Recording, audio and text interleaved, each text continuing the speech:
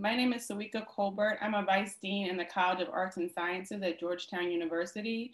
And it's my pleasure to welcome you again to our speaker series, Such a Time as This. This series emerged in response to the racial violence, specifically anti-Black racism, that unfolded this summer and continues to unfold by drawing attention to our faculty's much longer consideration of racial justice and the university's role in advancing it. We will explore how the work of the university may be mobilized for such a time as this. It is my great pleasure to introduce our speakers for today's session, which will explore intersectionality, women acting up. I'm also pleased to share that this is a Jesuit University crossover event in that we have a faculty member from Boston College joining us. But please let me introduce all the speakers now. Mireya Loza is a visiting assistant professor in the Department of History and the Department of American Studies at Georgetown University. Her areas of research include Latinx history, social movements, labor history, and food studies. Her book, Defiant Braceros, How Migrant Workers Fought for Racial, Sexual, and Political Freedom, examines the Bracero program and how guest workers negotiated the intricacies of, intricacies of indigeneity, intimacy, and transnational organizing.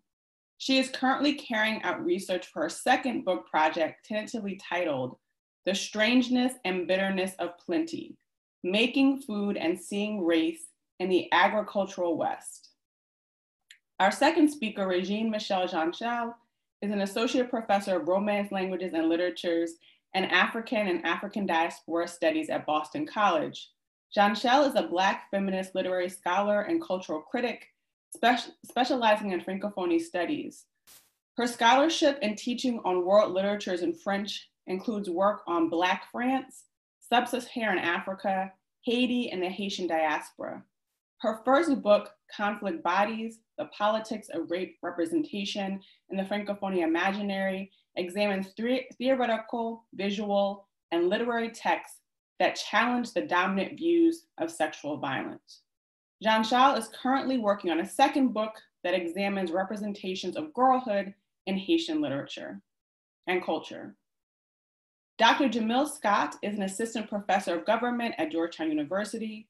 She received her doctorate from Michigan State University in political science and her bachelor's degree from University of Maryland College Park. She is the past recipient of the King Chavez Park Future Faculty Fellowship, as well as a co-PI on a grant from the New America Foundation. She has published in politics, groups, and identities, and American politics research. She is currently working on a book length study in which she seeks to understand Black women's political emergence in state level politics.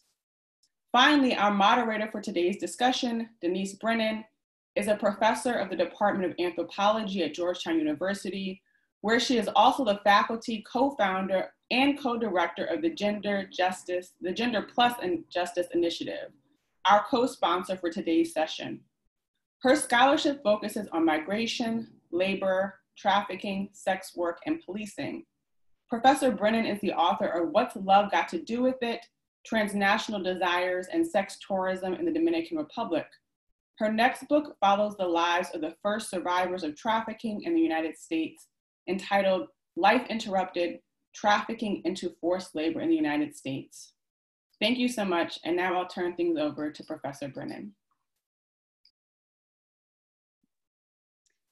Thank you, Professor Colbert. I want to um, thank uh, Dean Celenza and particularly Soyica for um, launching this series and making intersectional feminism an important pillar. Um, we have a wonderful roundup today of, of um, intersectional feminist thinkers. So I'm going to um, start the conversation and ask a broad question. If you could each tell us about your research and how it advances racial justice. Regine, would you like to go first, please? Yes, I get, I'm a guest, so I get to go first. thank you so much. Um, I want to just thank all of you for having us here. Thank you, Soyica, for that introduction and for um, the invitation. And thank you so much, Denise, to you for um, facilitating this conversation. Uh, I'm really happy to be here, as Soyica said, as a, from a Jesuit um, sibling university as well. So when I think about, you know, racial justice, it has to be approached through an intersectional lens, right? And so we all know that when we're talking about intersectionality, we're talking about the ways in which the different forms of oppression exacerbate one another. Um, and I take this lens in my research um, to everything that I do, right? It informs everything that I do. So, the first book that I wrote, which is about um, sexual violence, I was really concerned about rape culture and how rape culture and was really percolating around the globe. But what concerned me was also how um, the way that we talked about violence, specifically in a post-colonial context, uh, was often it often uh, even erased the fact of sexual violence, right? So a lot of times what we would see is the symbolism, um, like we would hear the rape of the African continent, but we never thought about the lived experience of people that had actually experienced sexual violence. And so part of what I do and why I think this is, you know, really advancing racial justice, because I, I always approach it as who's getting left out, right? Who are we thinking? Who, who, who is marginalized? Who are the most marginalized in our thinking?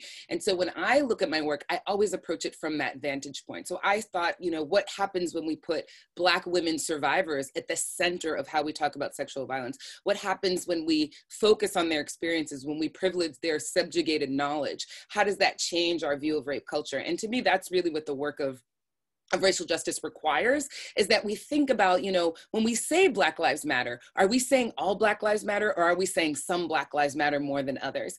Part of, for me, this there's a, there's a crime of omission, omission that has just taken place over and over again that I'm constantly trying to, to press into and to amplify in all of my work. Wonderful, thank you very much. Um, Jamil, do you want to um, jump in, please? Thank you.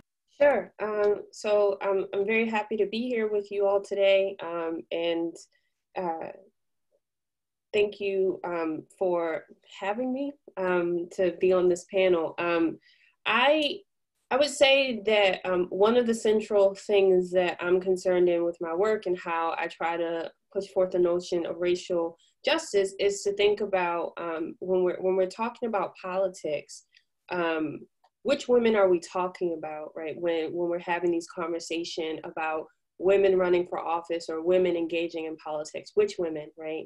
Um, oftentimes there's this dichotomy of women or people of color are doing something, right? Which women are we talking about? And um, are we excluding women of color when we say the term or when we talk in these, this language of uh, women and people of color. Where do women of color fit in this conversation, and how are we honoring their political participation and their ideological and political um, uh, contributions here?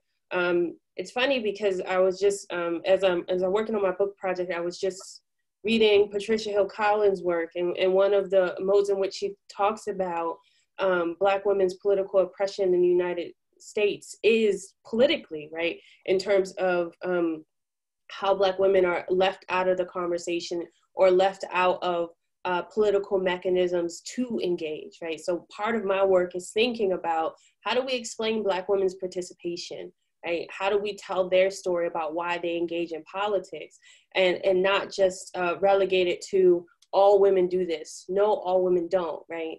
Um, I firmly believe that women of color have uh, their own story um, about why they decide to be engaged in politics. And, and some of that has to do with the violence that they've been subject to in the United States as, as a space, right?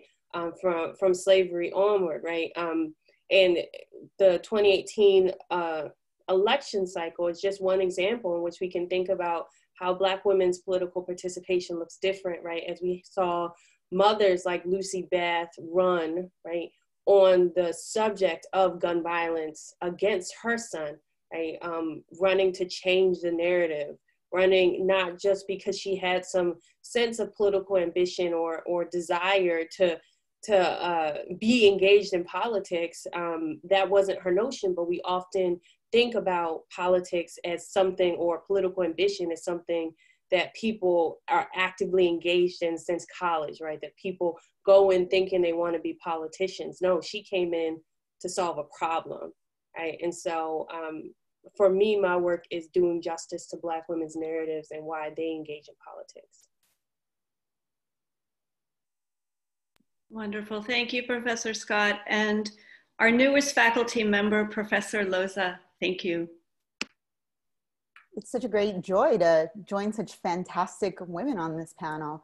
Um, my work really looks at and problematizes narratives about the past and really complicates this notion of why Latinx immigrants come to the US. I've often been frustrated, even from the time I was like 18, 19, with this narrative that it's simply poverty and geographic proximity, that those two are the reasons why people end up coming to the US as both documented and undocumented workers.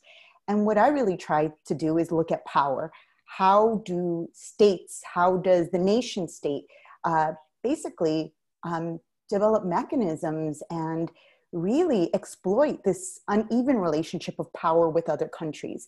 And so for most of my, um, for most of my time in graduate school and as soon as I got out of um, my graduate program, I focused on the figure of the guest worker.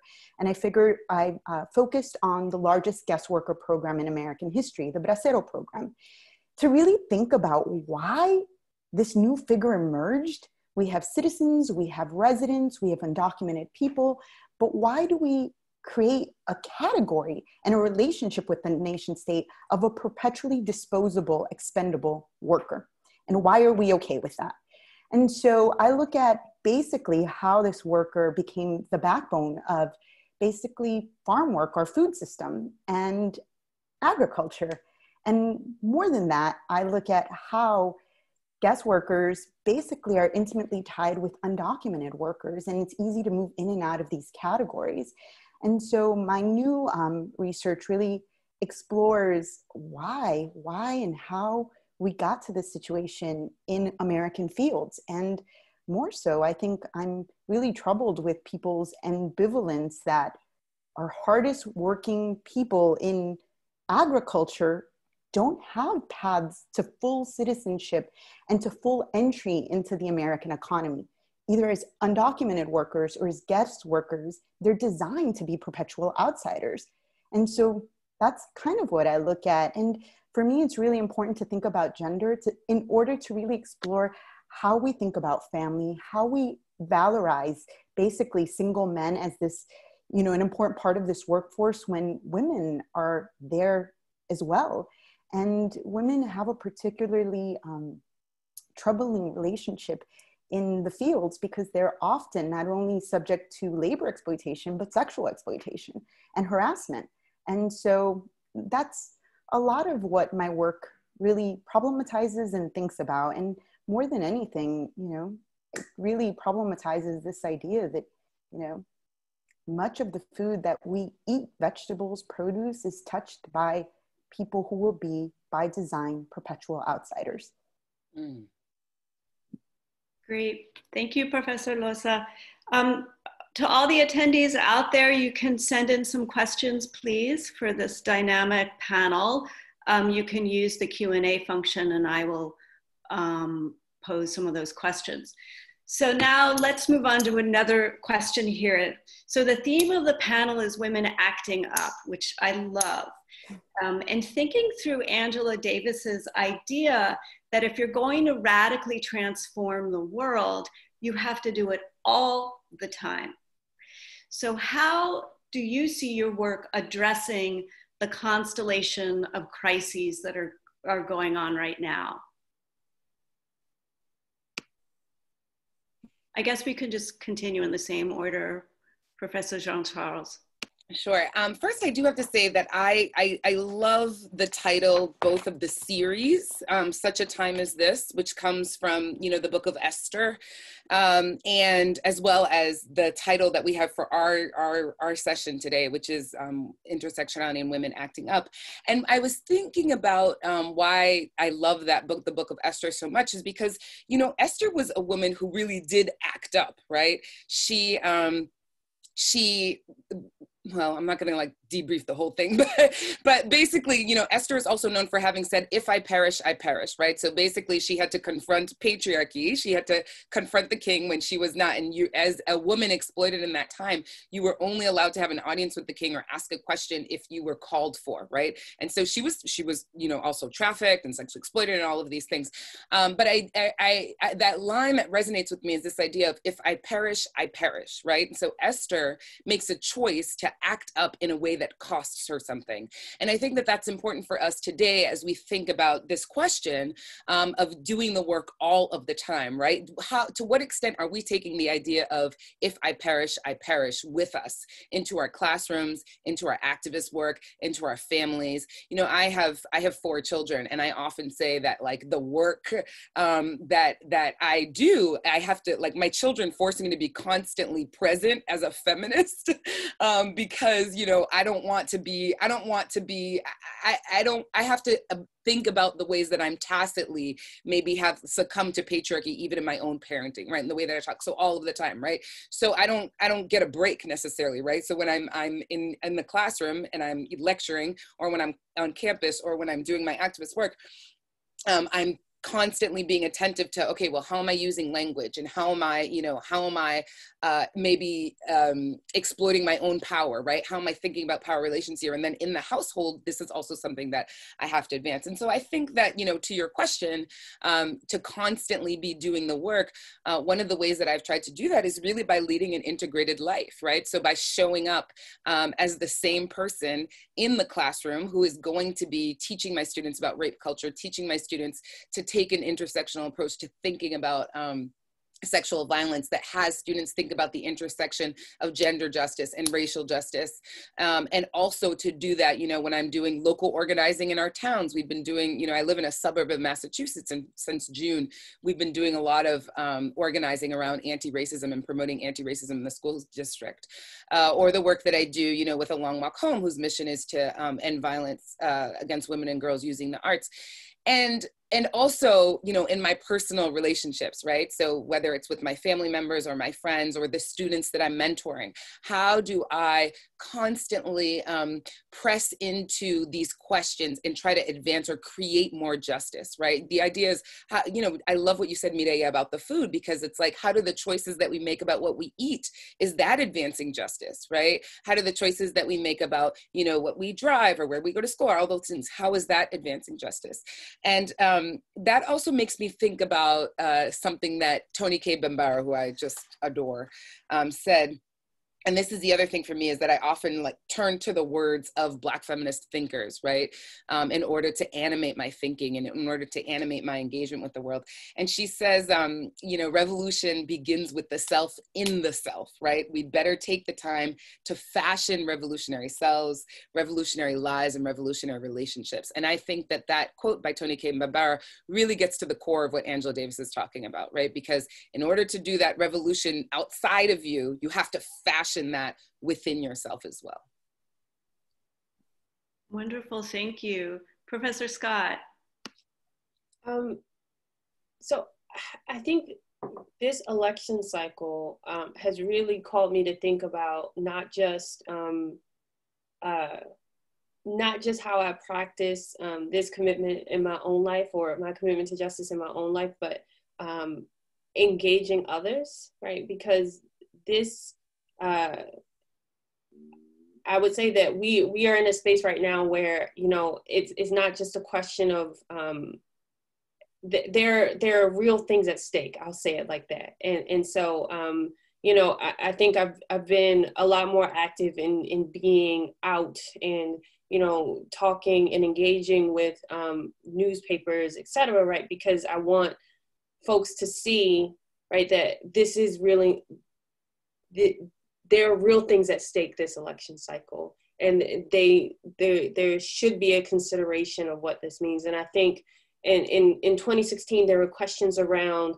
um, whether or not um, folks should be engaged right? And and i'm not here to you know um, i'm not here to say whether or not people should um, be faithful or believe in the system as it stands, right? Because that can be difficult, particularly when we think about how um, race and gender in the United States interact to um, create harm um, to to people. So I think this question really um, really involves considering uh, how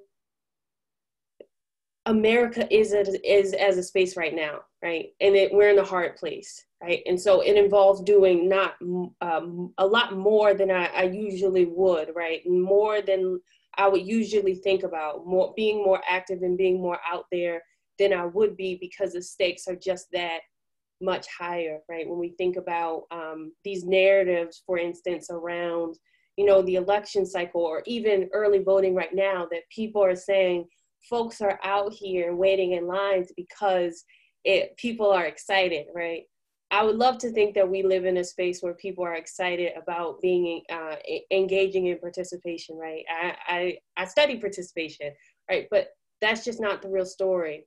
Um, the fact that folks are waiting in line is an indicative of a more sinister aspect of our system, right? That um, folks are waiting in line to vote to to practice, um, you know, a right that that they've been given, right? And so, um, for me, practicing um, and, and thinking about justice is uh, more than just in this moment. It's more than just talking to my friends and making sure that they're active and engaged. It's it's putting myself out there in ways that that um, I think ha- has in the past created um, issues for me, right? That like um, uh, I'm, I'm, sure um, as women and, and, women of color on this panel, they've had these uh, experiences where they've written some or they've talked about the work that they're doing, and someone has responded negatively or or talked negatively back to them, right? Um, the emails, uh, the negative emails aren't great, but I think at this time more than any other time, um, it's important to do the work, right? To be out there and risk the negative emails because, or the negative feedback because um, the stakes are just that high. Sorry, that was a very long-winded answer.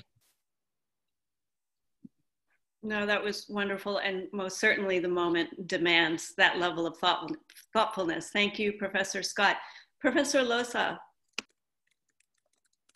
I think as for me, I've never felt such a higher calling to actually engage my students and give them tools to answer the questions that they have right now.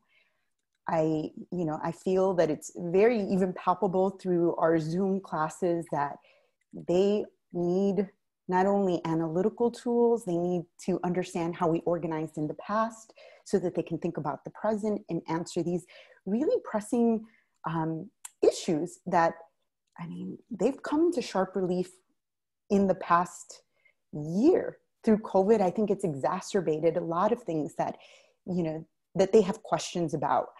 And, you know, as a historian, there's never been a more important time you know when history and our historical narratives are about the past are being called to serve a patriotic you know nation i think well this is when historians roll up their sleeves and say let's think about what and how people did.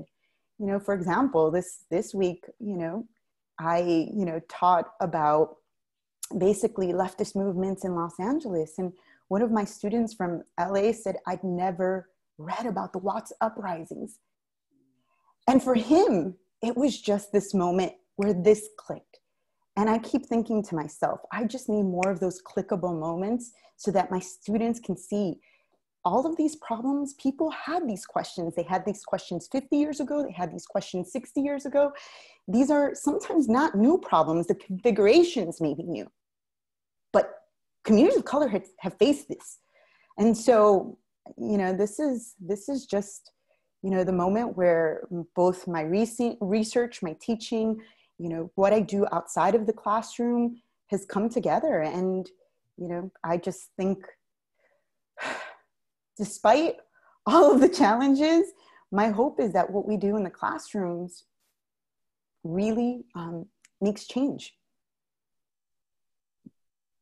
Thank you professor loza on this note, I, I, I, really wonder if this level of rupture right now is so great um, that you might consider through an intersectional lens going into the classroom in a different way from here on in.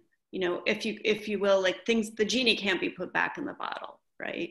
Um, so i'm wondering how you um, see this moment of rupture through this intersectional lens but with a particular focus on your activism and perhaps teaching as a, a part of that. Um, professor jean-charles? I mean, I guess I would piggyback off of what Mireya is saying because I feel like even like calling it a moment of rupture i feel you know mireya what i was hearing and what you're saying is like we've been here right? Like i've been teaching this way for a very long time. I learned this way. I was trained by other black feminists you know that this work of racial justice we've been doing some organizing at boston college as well. And you know we have this new forum on racial justice. And i said to um, I, w- I was telling the dean of the law school who, who was the head of it yesterday i said you know in in our in african african diaspora studies the scholars that we have on campus who are doing black studies we've been doing this for a very long time right? And so there's a part of me that also has to think about um, that those clickable moments right and the need to bring other people along. Um, and so you feel kind of vindicated to be honest with you with like yes you know everyone's saying intersectionality now thank you.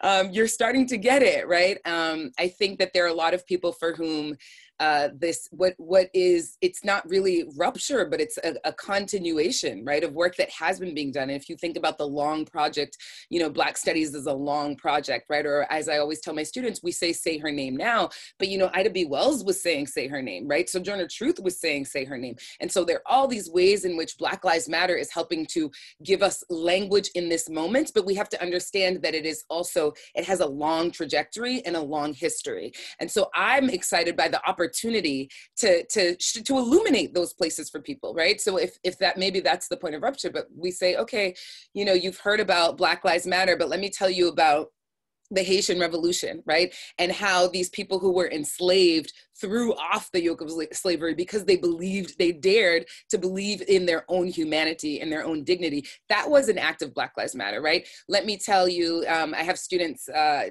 last summer I took a group of students to Paris and um, we, we learned about, the class was called Paris Noir and um, we had activists we had black lives matter activists from paris that came to our class and we had students that said wow i didn't realize that you know this was also a thing here. And i'm like oh yes anti-blackness is a global project right? And let's look at how over the history people have been writing about this and representing it.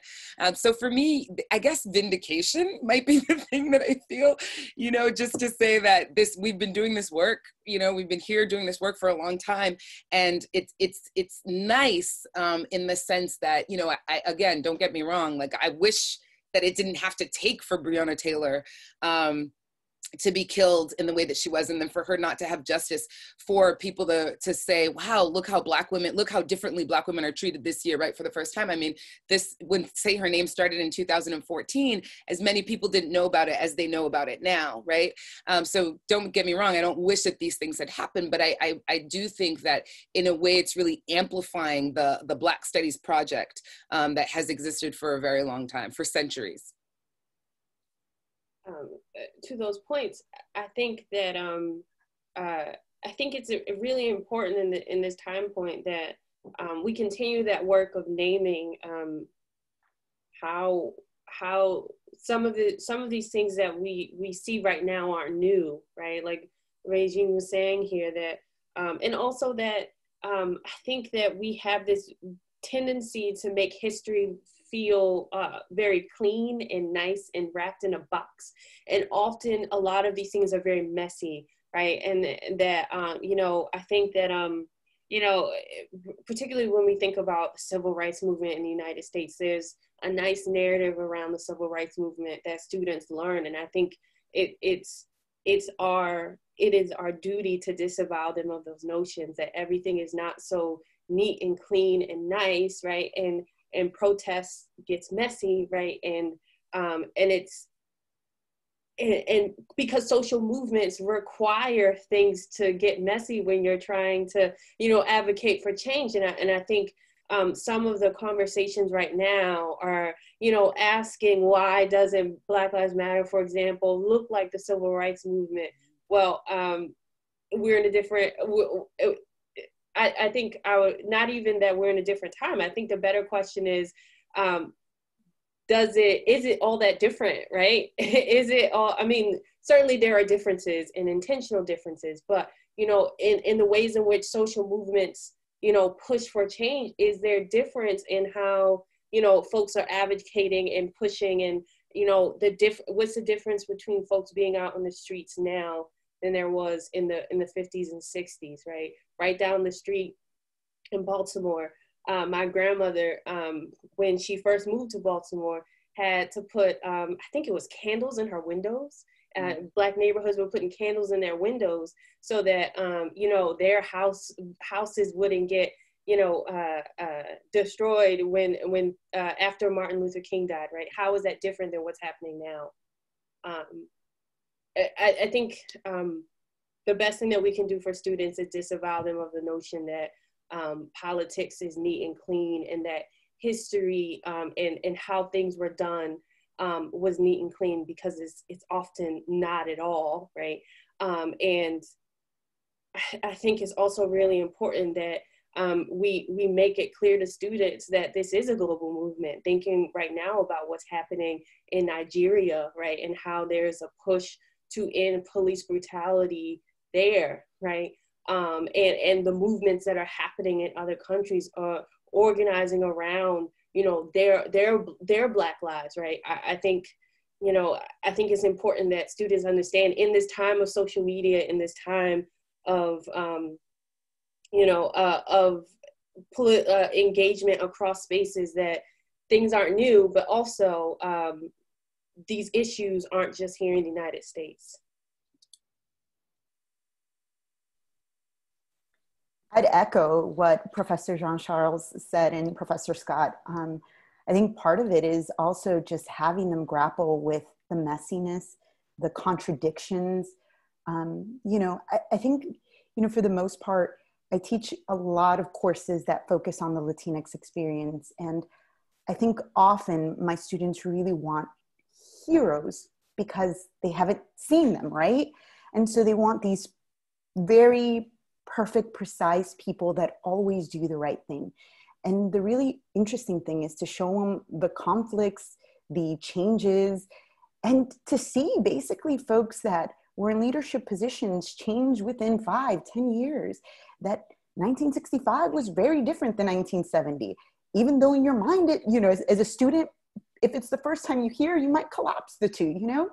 And so I don't know. I think for me, it really is just making sure that you know they see people in the past is really conflicted and you know um, engaged and complicated as we are in the present but it's funny at least for me um, echoing what professor jean charles said i you know i've taught courses around social movements and social justice in the past and, you know, I remember teaching courses where students are like, especially in the Obama years, where they're like, but we're much better now than we were in 1970. And there's something that has happened and unfolded where it's become very visible to them that gains can be lost in an instant. Mm. That if we are not vigilant, things can unravel. Mm. And that that reality now especially i think in part because they really want to believe history at least before was teleological that we were all going to a better place, that we were better in 1990 than we were in 1955, right? That we were better in 2012 than we were in, you know, 1970. And so I think that this moment really has made them understand that I mean, these kind of uh, issues that are really intersectional, but also centrally, you know, um, rooted in the way we see ourselves as citizens in a country in civil rights that these issues and these rights can easily dissipate in a matter of a blink of an eye. And so I think now more than ever, they, even though, uh, you know, these are books that I've taught or issues that I've taught about, it's never um, felt as just as clickable, as just as relevant for the kinds of things that my students are thinking about and the complicated world that they are confronting on a daily basis. Mm-hmm. Thank you, Professor Loza. So we have a question here. Um, what would you say to your students that voted for the first time in 2016 and may have faced deep disappointment with the result.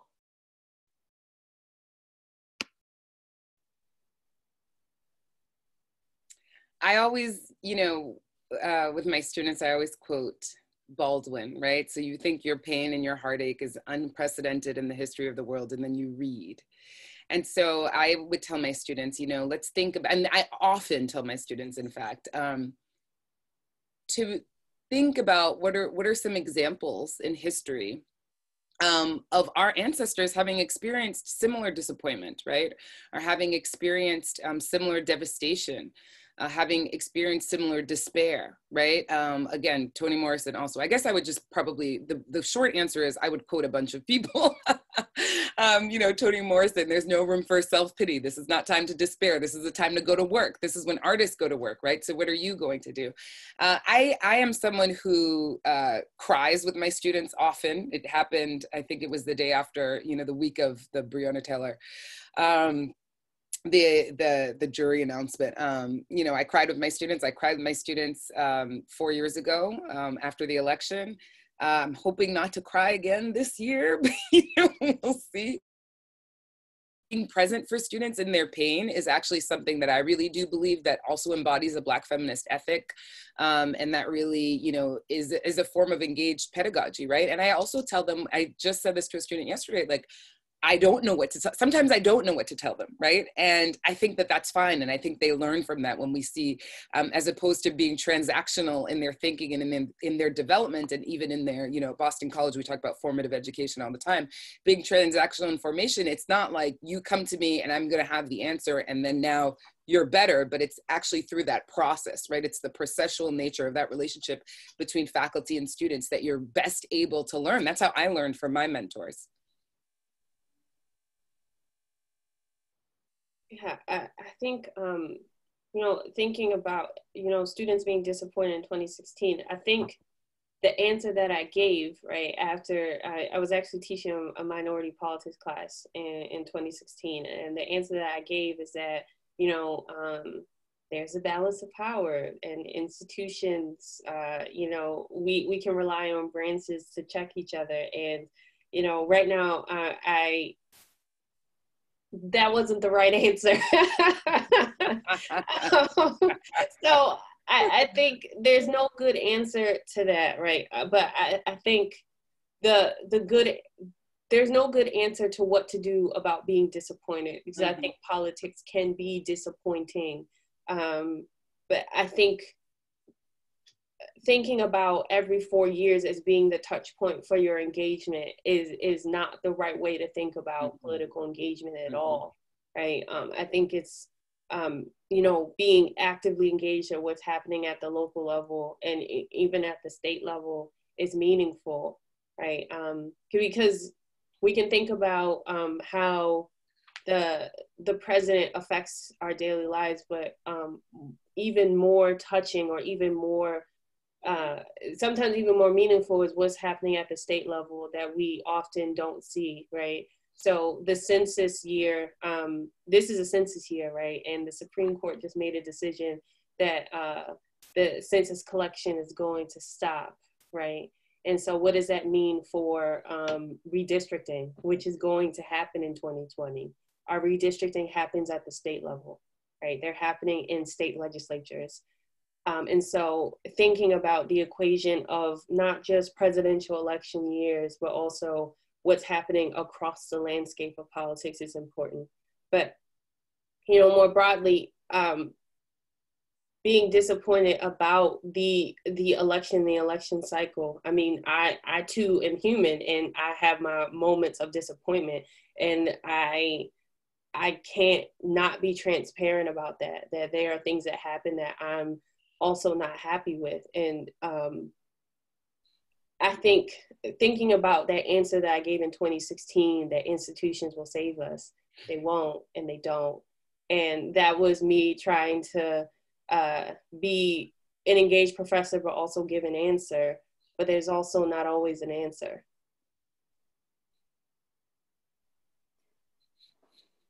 I mean, for me, the disappointment is a call to action. Mm. If you're mm. disappointed, then what are we going to do about it? That's right. So we can sit and there are several levels of disappointment. One, we take care of ourselves and our communities and make sure we are okay. And then there's another level, which is what else beyond that are we going to do? And I think for my students, you know, I always say disappointment is that call to action. What can we change? And also, let's not, I mean, for, for, for, you know, how I teach or what I teach, I always say, let's not get it twisted. Things weren't rosy before. you know, things weren't perfect. And, you know, people were getting detained and incarcerated. And, you know, we had a deportation machine and regime. And so things weren't rosy. So let's not, you know, look back with these, you know, rose colored glasses and think, well, it, you know, years ago it wasn't as bad. Maybe it wasn't as bad for one person, for, for me personally, but there was lots of communities that felt left out of like this project that is the nation, right? Mm. And so how do we look at those, you know, on the margins and say, that's not okay. That is not okay.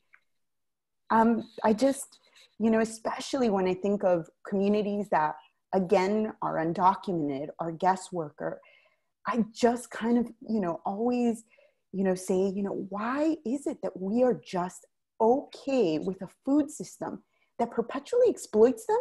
And we say things like, but we can't have an apple cost $10. Well, agriculture is not straight capitalism they get basically subsidies. And now we subsidize corn and we subsidize soy way more than we subsidize soup, fruits, and vegetables. But let's ask bigger questions like, why are we okay with a system that doesn't serve everyone? Why? And why do we say, mm, well, you know, and I think that there's a system also of, you know, making this seem like, oh, but, you know, again, geographic proximity, people's poverty, they don't they don't have to come but we have a system that exploits that right? And we're just okay. And so i always tell them i mean we can't we can't look back at these periods and think there's one period that was perfect and rosy you know there just wasn't. And so let's think about what activists were doing at that those moments in those junctures how they were speaking how they were pushing back what lessons can we take and what were actual you know moments where we say mm, that's not something we want to replicate Thank you very much, Professor Loza. Um, so here's another question. Could you tell us more about what political participation um, might look like drawing from the past or your research in light of the many challenges the world is facing? And if I could add on to that, I was thinking as you were all talking so um, I think persuasively about how important your um, your pedagogy is in in the classroom but then also what has animated your research. You know what are you thinking about are you thinking differently about what to, the next research project should be or how you should be doing it or the audience for whom it, it should be written? Or i shouldn't even say written because mireya has just done a, a wonderful um, exhibit curated an exhibit over at the museum of natural history um, and girlhood right? So there's lots of ways of, of telling stories and histories. Um, so I think um, th this question about participation is is a good one because I think it starts from a point of thinking about what is political, right? I'm not a political philosopher, but right, uh, I think they are very much engaged in the in the question of, you know, what do we count as being political? And I think that is an important question. How do you think about um, engaging the system more broadly? And I, I, think that a lot of the things that we don't think are political can be, right? Um, uh, everything from like uh, Mireya talked about, like buying practices, right? Um, uh, from you know the we we think about these uh, uh, very conventional things of of voting, right? Um, but what about your engagement on social media? What about your, you know, in, engage or your your reading practices? How are you spending your money? How are you thinking about yourself in relation to the state? Right? It's not just these things. Um, it's not just the conventional things, right? Um, certainly, um, voting is a thing, right? And I, I, I will not stop you from doing it, and I will not discourage you from doing that, right? But um, it's not just those things, right? And if we think more broadly about what is political, it's not just this question of do you vote, but do you think consciously about how you engage with this system? Um, engage in this nation state. Think about your relation to your neighbors, to not just uh, your your neighbor next to you um, in in the place where you live, but our, our global neighbors, right? How are we treating our neighbors to the north and the south, right? Um, how we think about these narratives. So being in mid, I, I got my PhD from Michigan State, right? And so we were in very close proximity to uh, Canada, right?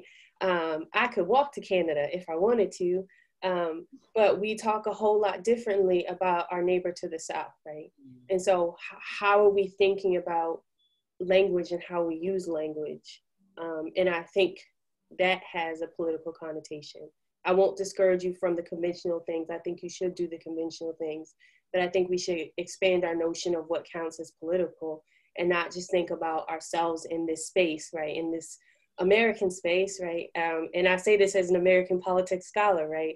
Not just thinking about yourself in in this space, but how does um, you your consumption have um, and how this country consumes has impact on other spaces as well.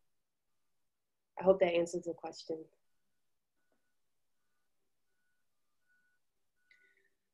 Yeah, I think, you know, I'm, I'm actually going to take the second question um, about um, our projects. You know, how are we thinking differently about them? I will say, um, I uh, was approached about writing a trade book, and I honestly didn't want to do it.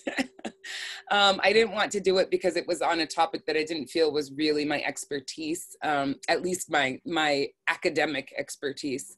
Um, but it is a topic that is very close to my heart and and is is is aligned with the other kinds of expertise in terms of how I live in the world. So um, it's a book about social justice and it's a book about and so the way that i've divided it is to think about what are these three contemporary social justice issues. So black lives matter um, the movement to end violence against women and girls and um, prison abolition and really thinking about them through an intersectional lens. But um, i will say i've done the bulk of the writing this past year during the pandemic and the thing that just keeps coming back to me is that um, this moment has actually uh, made me feel so much stronger about the need for this book because um, I want to be able to, you know, give it to my neighbors, right? Give it to be able to give it to my literal neighbors in the town that I live in, you know, when they're asking questions about like, well, I don't get it. Like, why are people saying defund the police, you know, and to, to, to be able to have something um, that you could really just give to anyone. And a lot of it is really conversations that I've had with students over the years,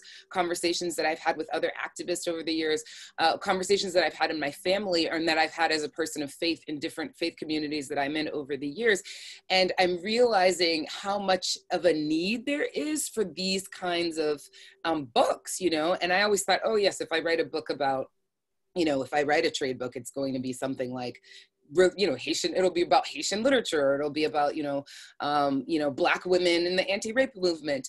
Um, so it's surprising to me, you know, but um, I do feel that it's helping me to think differently about uh, what I write, uh, what I write next as well.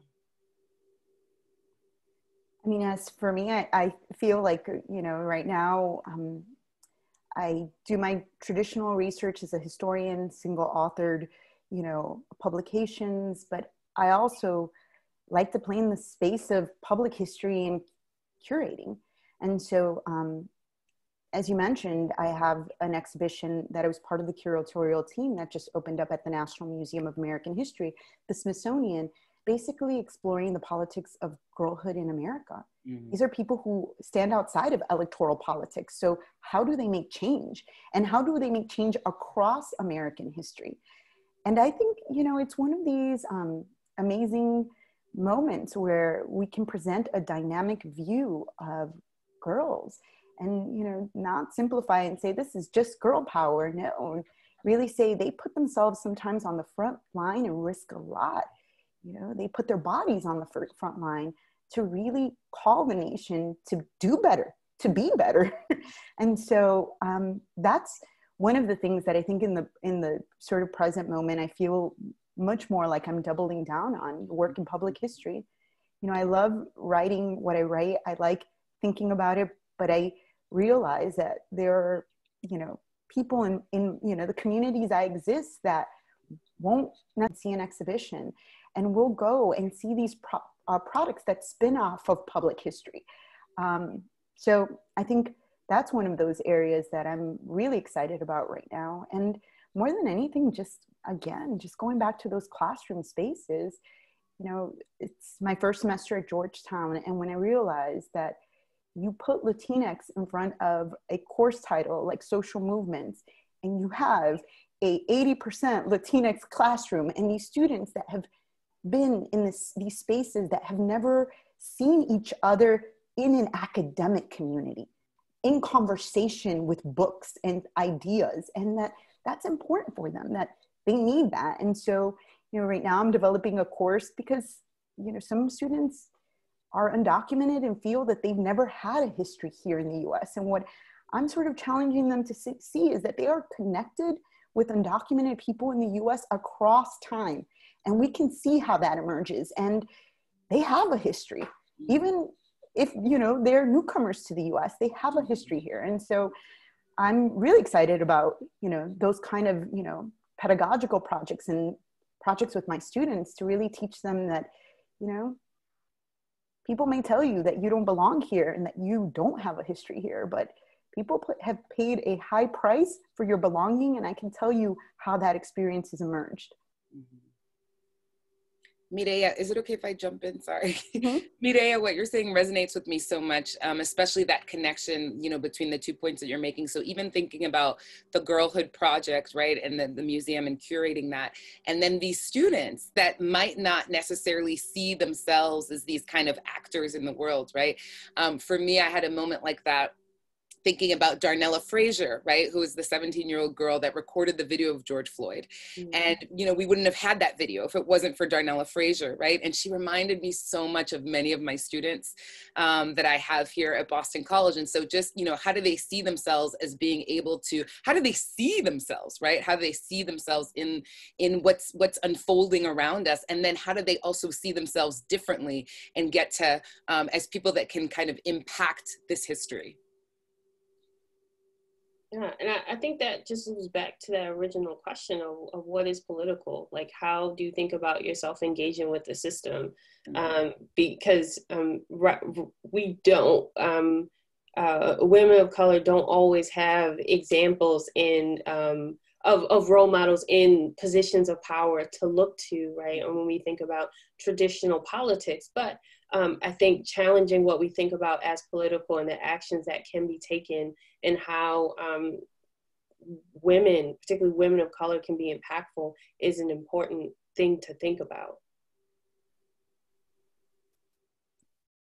So we have only a few minutes. Part of the mission of this wonderful lecture series has been to think about what universities can be doing to advance racial justice. And you've all skirted around the fact that there haven't been spaces for students of color to gather. There, you haven't necessarily had um, mentors that look like you. What radical transformation, in Angela Davis's words, to go back to the opening question, could universities take? in this moment where we need some immediacy.